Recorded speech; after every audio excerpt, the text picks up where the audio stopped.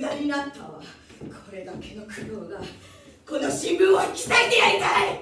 えー、実子さん。私今日も一日待ったのね。私は物を待ったことなんか一だし。あなたの裸が好きだわ。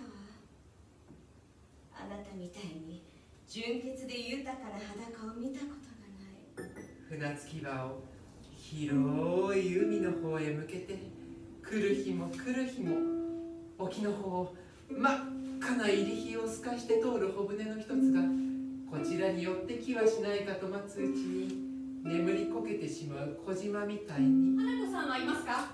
そういう人はうちにはおりません。いやいるはずです。隠しより新聞を出して。今朝の新聞で読みました。やっと顔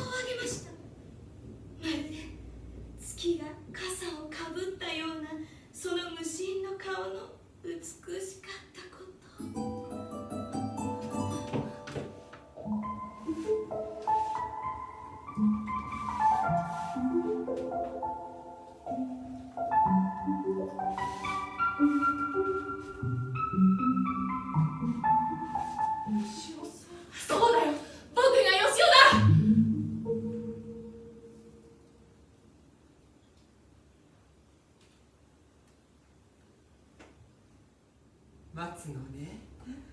待って待って。そうして日が暮れる。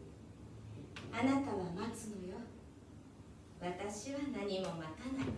私は待つ。私は何も待たない。私は待つ。こうして今日も日が暮れるのね。素晴らしい人生